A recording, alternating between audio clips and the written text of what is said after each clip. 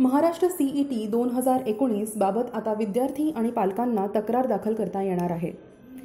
यंदा प्रथमच CET online पद्धतीने घेण्यात आली आणि पहिल्यांदाच पर्सेंटाईल पद्धतीने तिचा निकाल जाहीर करण्यात आला.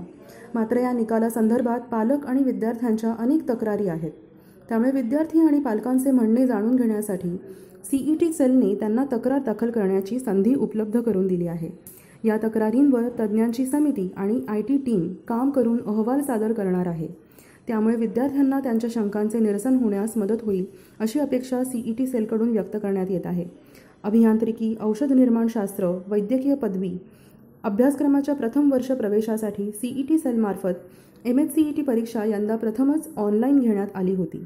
शिवाय यंदा प्रथमच पर्सेंटाईल पद्धतीने निकाल जाहीर करण्यात आला. तसेच पहिल्यांदाच सीईटी वेगवेगळ्या दिवशी घेण्यात आली. प्रत्येक दिवशीची काठिण्य पातळी पाहून हे पर्सेंटाईल काढण्यात आले. मात्र याबाबत संभ्रम व्यक्त करण्यात येत आहे.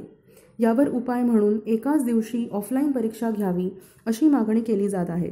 मात्र जेईईच्या सूत्रांचा वापर करून हे पर्सेंटाईल तयार करण्यात आल्याचे मत सीईटी सेलचे अध्यक्ष आनंद रायते यांनी व्यक्त केले. तरीही पालक आणि विद्यार्थ्यांमध्ये संभ्रम कायम असल्याने सीईटी सेलकडून विद्यार्थ्यांच्या तक्रार निवारणासाठी हा निर्णय घेण्यात आला आहे.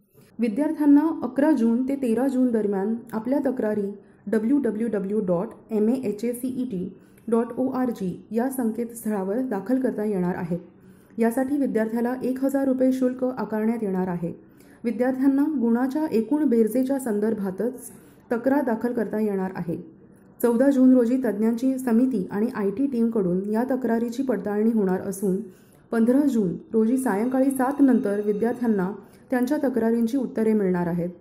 विद्यार्थ्यांना त्यांच्या लॉग इनमध्ये त्यांची उत्तरपत्रिका आणि तक्रारींचे उत्तर दिसणार आहे अधिक माहितीसाठी किंवा प्रश्नांसाठी व्हॉट्सॲप करा सात शून्य चार पाच शून्य एक आठ पाच तीन नऊ या नंबरवर.